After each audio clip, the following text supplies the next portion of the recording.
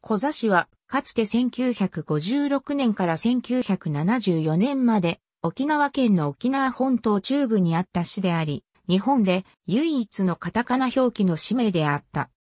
また、沖縄県内の市、沖縄本島中部では唯一海に面していない自治体だった。もともとは、古式タル村という地名であったが、1945年4月、沖縄戦で上陸したアメリカ軍が、ドーソンアザカマラ一帯に戦部隊本部を、ドーソンアザ小屋に野戦病院、物資集積所等を建設、キャンプ小座と呼んだ。また同地に難民収容所が開設され、人口増加に伴い同年9月から一時的に小座市となる。小座という名は隣接する三里村の小座と古式たる村の小屋が混同されたのではないかと言われている。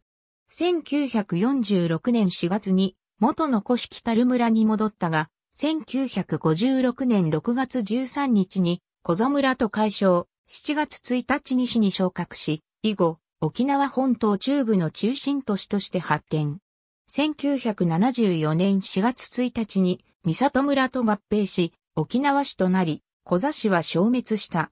市役所は、地中曽根に置かれ、合併後はそのまま沖縄市役所となり、後の住居表示実施に伴う町名変更で中曽根町となった。戦前の古式たる村は畑の多い農村だった。その後、畑だったところに嘉手納基地などの米軍基地が次々と建設され大きく一変する。突起なき場合、日本の歴代市長、市政施行100年の歩みなどによる。合併後、沖縄市となってから、小座の名が消え、市役所だけでなく警察署、郵便局、裁判所支部などの公共機関や道路案内標識の表示が次々と小座から沖縄と変更した。しかし、混乱を防ぐため現在でも、県税事務所は、小座の名称が使用されているほか、銀行や商店などの民間企業の支店などは、小座の名称が使われており、学校名にも残っている。こうして、市の中心部は、今でも、小座の名称で親しまれており、その地へ行く場合、沖縄市へ行くというよりも、小座へ行くという人が多く、沖縄市、小座と使う人はまずいない。また、小座は、小屋あるいは、小座の点火であると言われるが、交差点は、小屋十字路と小座十字路が別々に存在し、小座という地名も健在である。合併後の沖縄市は、沖縄本島中部の中核都市と発展し人口が、県と那覇市に次いで2番目に多く、1980年代半ばには10万人を突破した。また、嘉手納基地や嘉手納弾薬庫など多くの米軍基地を抱え、現在でも市の北西部の多くが基地となっている。しかし、旧三里村を中心に返還されている旧米軍用地もあり、跡地に住宅が建てられ、市の人口も旧小座市よりも旧三里村が上回るようになった。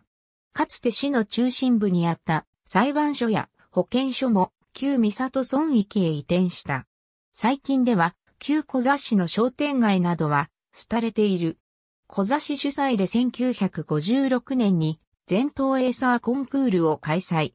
2007年6月13日、エーサーの町宣言をし、地域の活性化に取り組んでいる。大学高等学校中学校、小学校道路路線バス漢字とカタカナの混合指名の場合、現存する山梨県南アルプス市や、1959年から1966年まで存在した長野県篠ノ井市がある。また、カタカナのみの町名の場合、現存する北海道ニセコ町や、1955年から2005年まで存在した滋賀県牧野町がある。第366回沖縄市議会定例会、小座文化ボックス第11号。自治体名称の変更と市昇格は同時には行えないため、3週間だけの村、小座村が誕生することになった。沖縄市の歴史歴代知事編纂会1983 809から814ページ。ありがとうございます。